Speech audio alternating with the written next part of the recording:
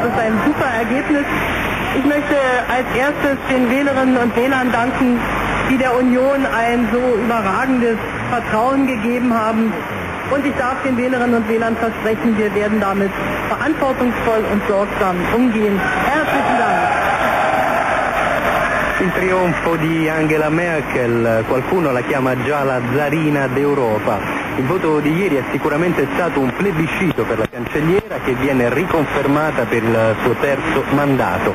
Ma il bello deve ancora venire, la debacle della FDP fuori dal Bundestag per la prima volta nella storia repubblicana segna anche la fine della coalizione cristiano-democratica. La palla è in mano, cristiano, cristiano eh, liberale, la palla è in mano ad Angela Merkel, come ha ricordato ieri sera Peer Steinbrück, lo sfidante dell'SPD, non azzarda previsioni sulle future coalizioni, ma in qualche modo un messaggio alla cancelliera lo, lo ha già mandato, noi siamo qui ad aspettare quello che fai. E allora, esclusa a priori una coalizione tra SPD, Link e Verdi, per ora le opzioni restano quelle di una grossa coalizione di una, o di una coalizione chissà tra CDU e Partito Ambientalista. Noi analizzeremo oggi questo risultato elettorale con i nostri ospiti. In studio con me saluto Peter Seidel, giornalista politico della Kölner Anzeiger. Buonasera Peter. Buonasera. Senti, quanto ti hanno stupito questi risultati? Ma alcune cose c'erano anche da aspettarsi, come la vittoria del CDU, però quanto, quello che mi ha stupito di, di più è stata la, la abissale eh, sconfitta della ST che per la prima volta, come dicevi, eh, non fa più parte del Bundestag una sconfitta che ha varie ragioni, tra, le quali eh, la mancanza totale di un personaggio molto popolare come una volta lo era Genscher per esempio, eh, anche il bassissimo profilo che eh, tutto sommato eh, i liberali hanno avuto nei passati quattro anni in governo. Grazie Petra per questa eh, breve eh, battuta, noi continuiamo a parlare delle elezioni dopo questo breve stacco musicale.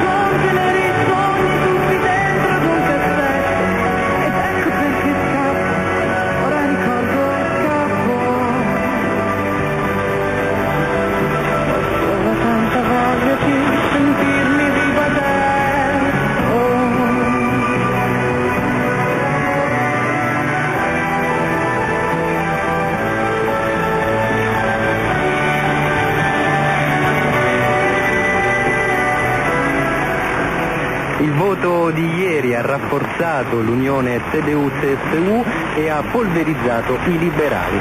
In lieve aumento la SPD che però non arriva al risultato che si era prefissato. In calo Link e Verdi e in ascesa la novità di questa tornata elettorale, l'alternativa per la Germania, partito anti-euro che però non entra al Bundestag. Il giorno dopo il voto nel servizio di Cristina Giordano.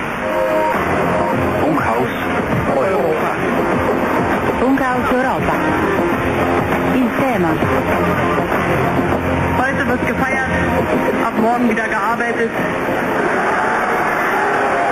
Ab, übermorgen freut euch und die Freude wird uns die Kraft geben, auch die nächsten Jahre gut zu gestalten. Wir haben viel Verantwortung, aber damit können wir schon gut umgehen. Alles, alles Gute. Danke.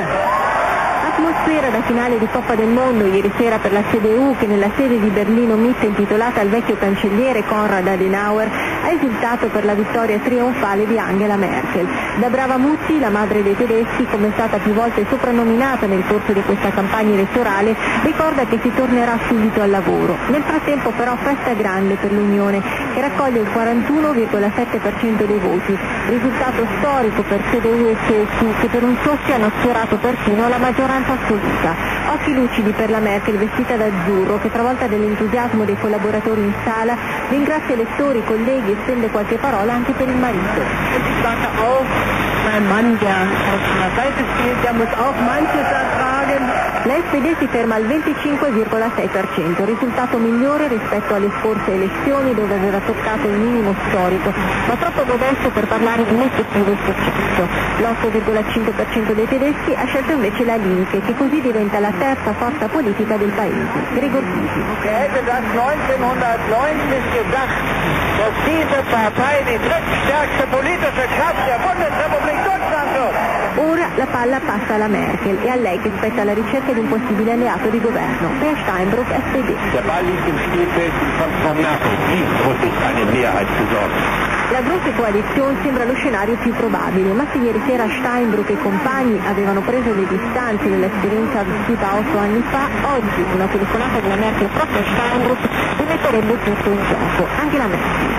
Wir haben als Union einen klaren Auftrag zur Regierungsbildung. Deutschland braucht eine stabile Regierung und deshalb werden wir diesem Auftrag auch nachkommen. Insomma, via al valzer delle trattative e Merkel si dice pronta a collaborare anche con i Verdi. Di fatto la cancelliera non potrà più fare affidamento sui liberali che per la prima volta dalla nascita del partito nel 1948 non siederanno al Bundestag. La FDP infatti non ha raggiunto nemmeno lo sbarramento del 5%, registrando il peggior risultato di sempre. Rainer Briederle subito dopo le prime posizioni. Das ist das äh, schlechteste Ergebnis, das wir bisher als FDP erreicht haben. Das ist eine schwere Stunde für die FDP. E mentre gli esponenti dei liberali recitano a turno il mea culpa, cade già la prima testa. Il vice cancelliere Philipp Rösler ha presentato oggi le dimissioni da segretario della FDP. Ich habe heute den Gremien bekannt gegeben, dass ich mein Amt als Bundesvorsitzender der Freien Demokratischen Partei selbstverständlich zur Verfügung stelle. A prendere il posto di Rösler sarà molto probabilmente Christian Lindner, capogruppo dei liberali in Nord Reno-Westfalia. Ma l'area di dimissioni sembra essere contagiosa e anche tra i verdi che non raggiungono i risultati sperati e si fermano all'8,4% si annunciano possibili cambiamenti al vertice. Il partito anti-euro Alternative für Deutschland non riesce a raggiungere il quorum necessario per entrare al Bundestag, ma per un partito nato meno di un anno fa il 4,8% non è certo male come inizio. E noi dopo una pausa musicale torniamo a parlare con Peter Seidel delle prospettive del voto di ieri.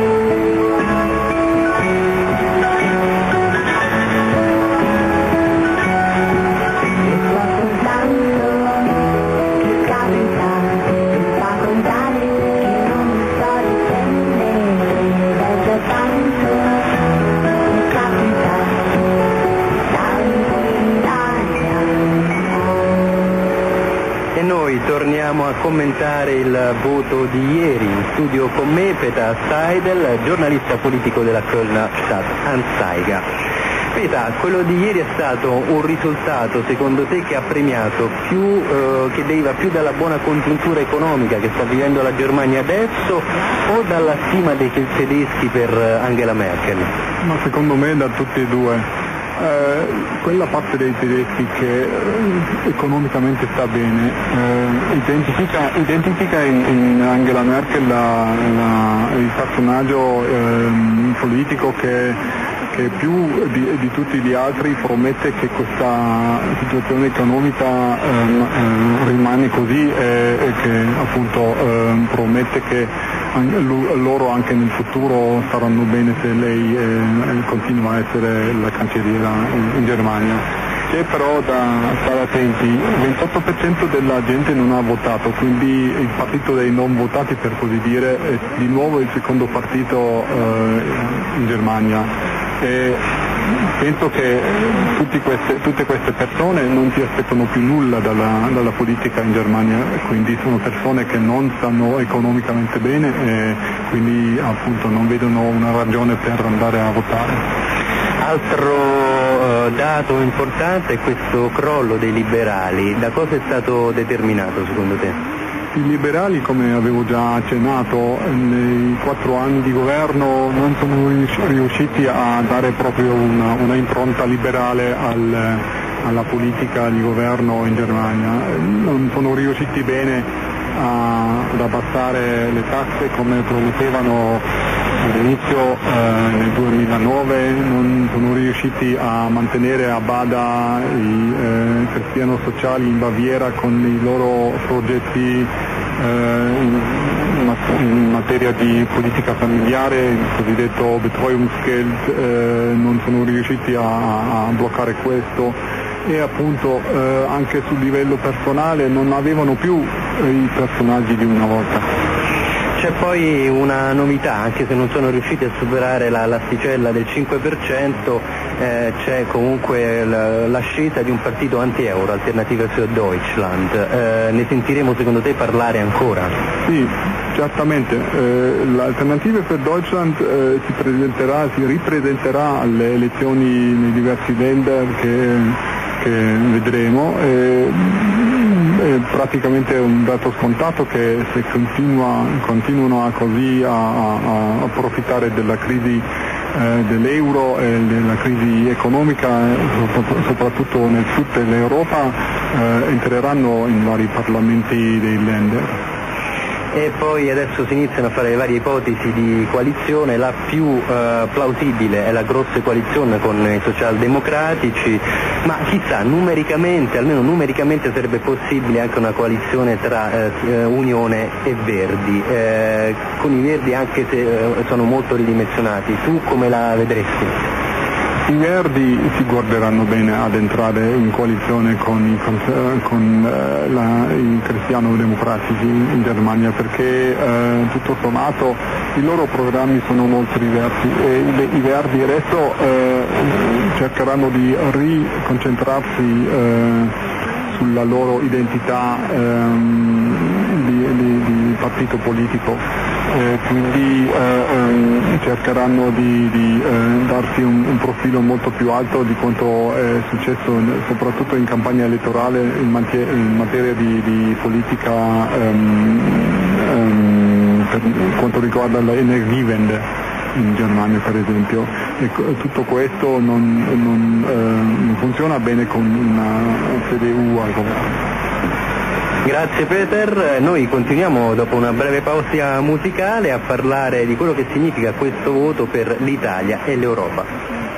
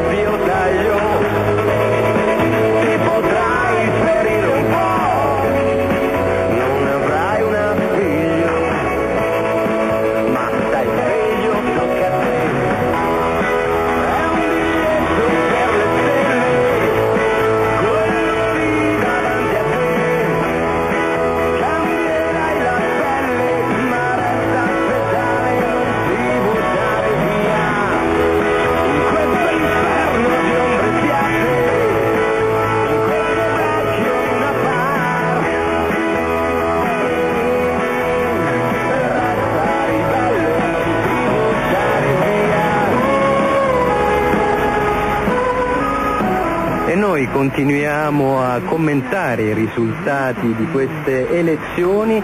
Eh, al telefono con noi da Berlino abbiamo Sergio Nava, inviato di Radio 24. Buonasera. Buonasera. Sergio, come hai vissuto queste elezioni?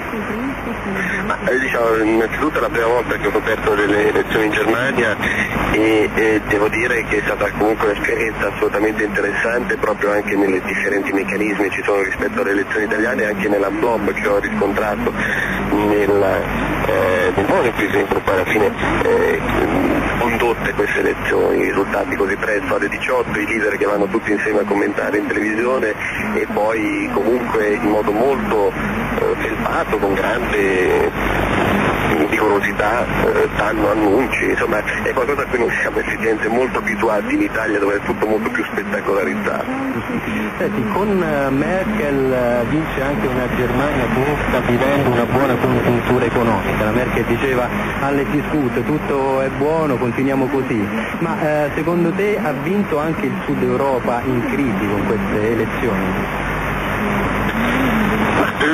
Secondo me non molto, nel senso che eh, Merkel comunque si è dimostrato un buon timoniere, eh, personalmente sono stato un, un buon timoniere di questa crisi europea con questo, questa capacità di andare proprio al problema in modo molto rigoroso, ma di da scienziata qual è.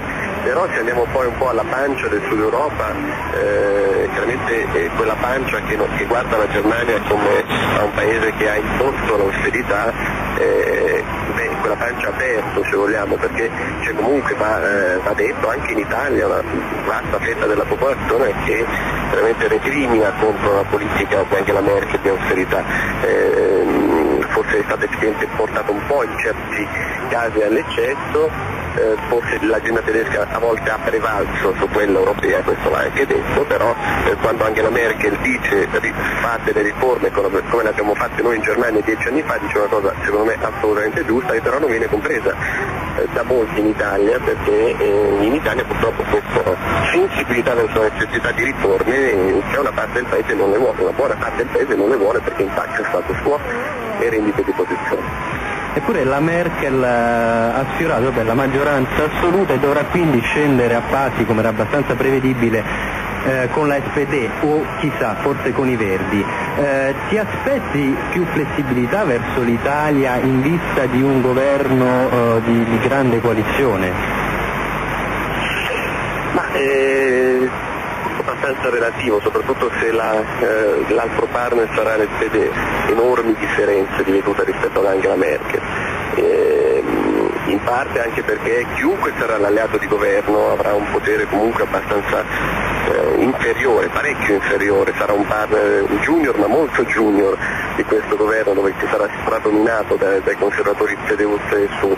Eh, sinceramente io non mi aspetto grandissimi cambiamenti eh, nei confronti anche dell'Italia, anzi vedo una Germania parecchio preoccupata dell'instabilità politica in Italia, che non capisce giustamente eh, com'è possibile che un paese che sta affrontando un periodo di crisi difficile riesca anche a concedersi il lusso di dibattere sull'eventualità di una crisi di governo legata alle sorti personali di un leader partito peraltro condannato in via definitiva. Insomma, eh, metto, cerco di mettermi nella prospettiva tedesca e faccio fatica effettivamente a comprendere quello, io stesso quello che succede in Italia, quindi eh, difficilmente ci, sa, ci saranno grandi cambiamenti. Una domanda per Peter Seidel, invece eh, Angela Merkel dopo anni in cui ha gestito la crisi economica ha mostrato anche una grande abilità a conoscere, a capire gli umori del suo elettorato, eppure non ha dimostrato di avere una vera e propria eh, visione politica, una visione politica anche europea. Eh, pensi che con questo nuovo mandato riuscirà a darsi una sorta di identità politica più definita? Ma per quanto riguarda le visioni politiche Angela Merkel proprio non è il personaggio con, che, che, ne ha. Eh, penso che eh, ha, capito bene che in molti paesi europei ormai c'è una buona propensione per, eh, per dare più competenze di nuovo alle, ai parlamenti nazionali e quindi eh, molte cose che finora sono state decise a Bruxelles eh, magari fra qualche anno ehm, eh, le si ridarà ai, ai eh, vari Paesi membri dell'Unione Europea. Del resto, eh, per quanto riguarda la, la, la situazione finanziaria e economica eh, in Europa, eh, non penso che, che, vedremo grandi cambiamenti perché secondo lei e secondo il suo partito finora siamo andati bene. Alle disguste quindi, come, come, ha detto e ripetuto la Merkel durante la campagna elettorale. Grazie Petra Seidel, io ringrazio anche Sergio Nava da Berlino, buona serata. Buona serata. Bye.